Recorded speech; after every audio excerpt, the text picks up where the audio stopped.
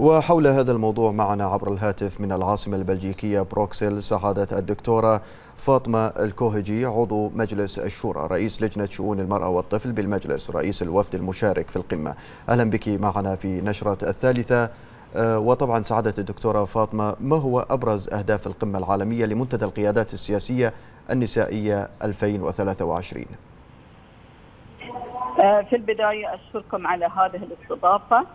القمة العالمية لمنتدى القيادات السياسية النسائية 2023 تعتبر من أكبر التجمعات العالمية التي تجمع البرلمانيات والسياسيات من مختلف دول العالم وهي تركز خلال مؤتمراتها وقممها على عناوين مهمة تعنى بعمل ونشاط المرأة في الشأنين السياسي والبرلماني بهدف تبادل التجارب والخبرات السياسية والبرلمانية من خلال المناقشات التي تفضي إلى تبني إجراءات وقرارات تشريعية وسياسية ملموسة من أجل أن تمضي المجتمعات نحو التنمية والازدهار والأمن والسلام.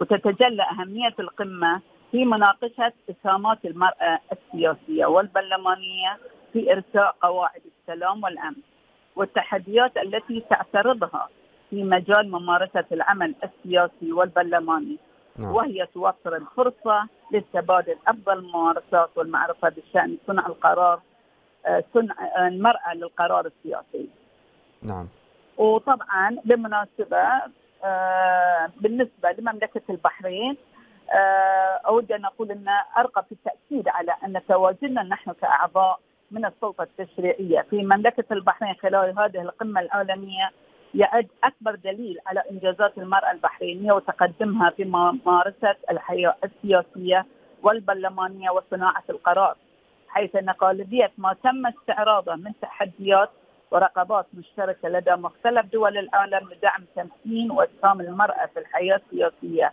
والبرلمانية.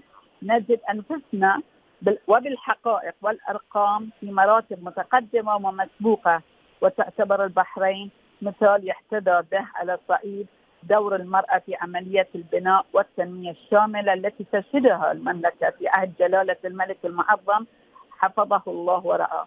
وسيكون لمملكة البحرين كلمة خلال القمة. سنستعرض من خلالها الإنجازات الكبيرة التي حققتها المرأة على صعيد عملها في الشأن البرلماني والسياسي والاجتماعي والاقتصادي والتعليمي. وغيرها من القطاعات المهمة في عملية التنمية، إذ نفخر حقيقة بأن المملكة تجاوزت الكثير من المحطات التي ما زالت بعض الدول الأخرى تبحث قبل تخطيها على صعيد تمكين وتقدم وقيادة المرأة. نعم. طبعا من خلال هذه المشاركة نستفيد كذلك من التجارب والخبرات والممارسات السائدة لدى الدول المختلفة حول العالم على صعيد المرأة البرلمانية والسياسية. ونسعى من خلال القمة لتعزيز الدبلوماسية البرلمانية وبناء العلاقات والشراكات مع البرلمانات والسياسيين حول العالم بما يعود بالنفع والخير لمملكة البحرين. من العاصمة البلجيكية بروكسل سعادة الدكتورة فاطمة الكوهجي عضو مجلس الشورى رئيس لجنة شؤون المرأة والطفل بالمجلس رئيس الوفد المشارك في القمة. شكرا جزيلا لك.